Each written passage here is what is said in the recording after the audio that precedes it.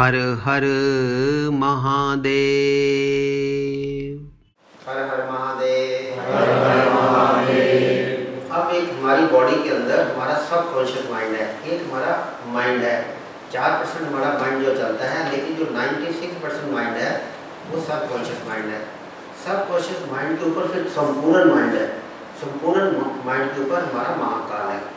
तो अब अगर हम चाहते हैं कि हमारा जब सब कॉन्शियस ब्रेन में प्रॉब्लम आ जाती है तो उसके अंदर फिर हमें क्लैश होता है, इस ब्रेन के अंदर, न्यूरॉन्स के अंदर, और डर लगता है। डर बैठ जाता है। और डर को निकालने के लिए हमारे पास हमें क्या करना पड़ेगा कि हमें ऐसी वाणी से प्रभु का नाम जपना पड़ेगा, जो किसी चीज़ को टच ना करे। जैसे कोई भी वाणी हो, कोई गिटार आप बजाएँगे, कोई कुछ बताएँगे तो कोई टच करना पड़ता है। अब तीन चार तरह की साउंड होती हैं, ब्रह्म वाणी की उससे जब हम वो विराग करेंगे, प्रभु का नाम जपेंगे तो डर बॉडी से निकल जाएगा अपना। अब सबसे पहले नाक को टच किए बिना हमें परमात्मा का नाम लेना है, लेकिन उसमें मुट्ठी को बंद रखना है। और ध्यान अपना नाभि पे रख लेंगे, और लंबी प्रांत करेंगे। जैसे आप एक बार चाहे देख लो।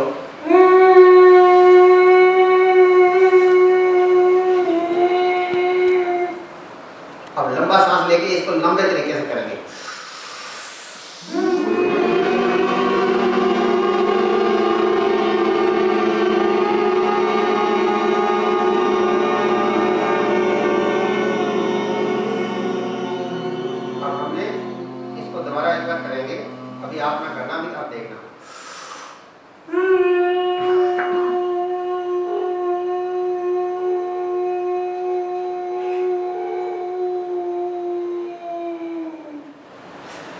इसी तरह हमने किसी चीज़ को टच नहीं किया। नीचे जो भी ध्वनि टच से होती है, वो संसारिक ध्वनि बनेगी। ये नाद है हमारा। प्रभु के नाद है ये। अब इसी तरह हम मुँह से भी यही करेंगे। मुँह से भी यही आवाज़ निकालेंगे।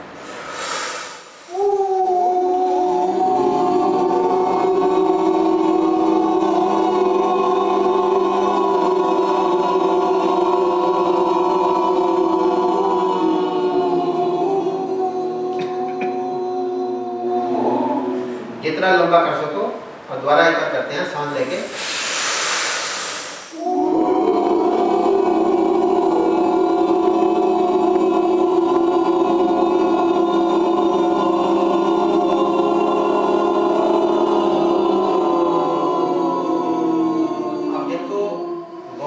डर लगता हो।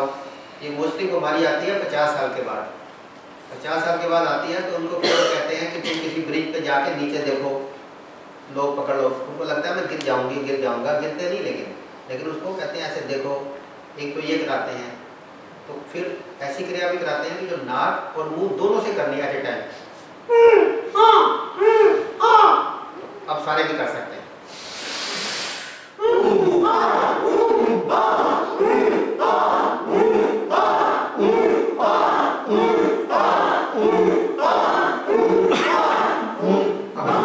इधर से आपने किया, इधर से किया, पेट अंदर जाएगा ऑटोमेटिक तो इससे क्या होगा कि हमारे पेट की सारी बीमारियाँ भी खत्म हो जाएगी। हमारा एक्चुअली बॉडी हमें लगता है कि अलग अलग पार्ट्स हैं। हर पार्ट ज़रूरी है। लेकिन ब्रेन मास्टर बैठा हुआ है हमारा। और जब हम ब्रेन के ऊपर अपनी आत्मा को इसका कैप्टन बनाते हैं तो फिर हमारी डर खत्म होता है। डर तब भागता है बॉडी में से। एक बार मैं दोबारा करता हूँ, आप सिर्फ़ देखना।